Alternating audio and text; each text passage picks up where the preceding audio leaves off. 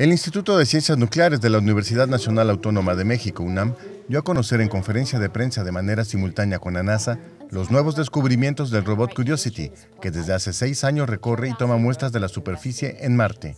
El astromóvil Curiosity encontró compuestos orgánicos preservados en rocas de barro o lutitas, que datan de hace 3 mil millones de años que solo se forman en presencia de agua líquida.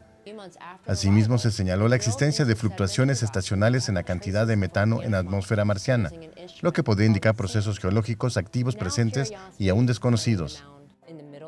Aunque en la actualidad no se ha encontrado vida en Marte, la suma de descubrimientos orgánicos y condiciones físicas favorables dan la posibilidad de encontrar vida en los polos del planeta rojo. Pero Marte sufrió un cambio climático, su atmósfera rica en CO2 desapareció, se fue al espacio y CO2 o se precipitó formando rocas y la atmósfera de Marte ya no pudo atrapar la radiación solar, que no era mucha porque Marte está más alejado del Sol que la Tierra, el Sol no era tan eficiente en su radiación solar como ahora, emitía 25% menos de luz solar y Marte se enfrió, se congeló y la vida probablemente se extinguió, se adaptó para vivir en el subsuelo. Y actualmente Marte es un desierto, un desierto frío, donde es poco probable que exista vida en la superficie, aunque no se descarta que pudiera haber vida en la superficie cerca de los polos.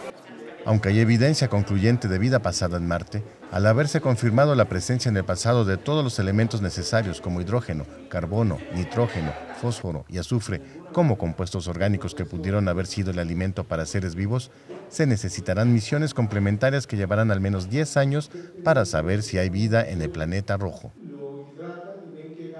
Con información de la oficina en la Ciudad de México, Noticias Xinhua.